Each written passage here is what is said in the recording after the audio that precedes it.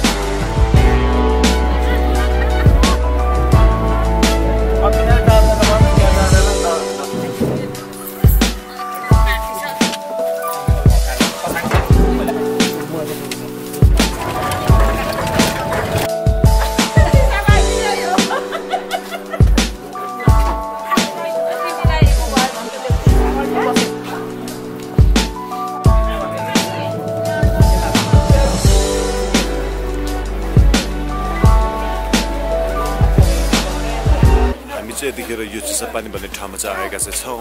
So अनि कस्तो हुन्छ देखाउँदै गर्दै गर्छु हेर्दै गर्दै गर्नुहोस्।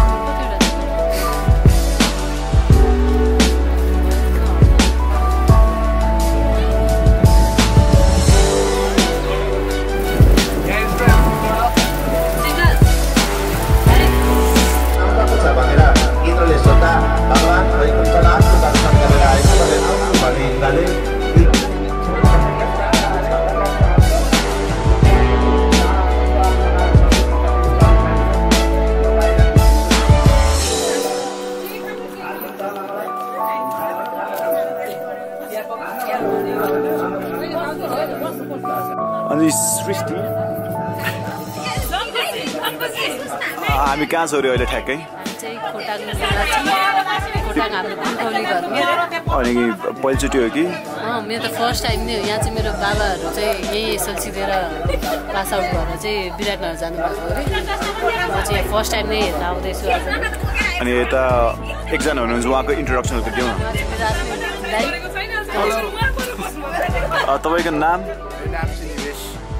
अनि तपाईँ पनि यहाँ पहिलोचोटि आउँदै हुनुहुन्छ कि? एकदम एकदम। पहिलोचोटि आएको। अनि लाइक आउँदाखेरि पानी पनि इज रमाइलो सो कस्तो लागिरहेको छ आफ्नो पुर्ख्यौली घर चाहिँ? फर्स्ट टाइम भएकोले गर्दाखेरि एकदम अमेजिङ है। एन्ड मोरओभर लाइक सबै धेरैजनाको मेमोरिजहरू भएकोले गर्दाखेरि यहाँ। अनि हाम्रो लागि पनि काइन्ड अफ इन्सपिरेसन भएको प्लेस हो। So it's it's really good so अघि बाटोमा आउँदा आउँदै तपाईँले आफ्नो ड्याडले दिनुभयो कि एसएलसी अथवा स्कुल पढेको चाहिँ देख्नु भयो रहेछ। सो कस्तो लाग्यो त्यो त्यो त्यो हुँदाखेरि मनमा के कुरा आएको थियो? ए त्यो त्यो लाइक फर्स्ट चिज आएर चाहिँ उहाँहरूले कति ट्राभल गरेर त्यहाँसम्म पुग्नु हुँदो रहेछ भन्ने एउटा फिल भयो। एन्ड इम्पोर्टेन्टली मैले गुगल गुगल अर्थमा सर्च गर्दाखेरि त्यो अलमोस्ट लाइक थर्टिन हन्ड्रेड एल्टिट्युडमा थियो भनेर सुनेको थियो यो अहिले हामी भइरहेको चाहिँ अलमोस्ट इलेभेन हन्ड्रेड मिटर एल्टिट्युडमा हो।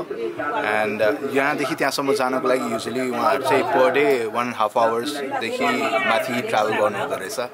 एन्ड निकै सङ्घर्ष गरेर द्याट कम्प्लिटेड एसएलसी होइन त्यो टाइममा अनि अहिले द रिच प्लेसेस अनि अहिले फर्केर आउँदाखेरि त्यो चिजलाई हेर्दाखेरि चाहिँ you could reflect so many things behind अनि हामी यहाँ आउनुको मुख्य कारण चाहिँ के थियो? हामी आउनु मुख्य कारण भनेको पुरानो थियो। धेरै वर्ष पछाडि सबै कोइरालाहरू एकै ठाउँमा पुर पुर्खौली सबै पुर्खौली ठाउँमा सबैजना जम्मा भएर एकैचोटि रमाइलो गर्नको लागि पनि हो।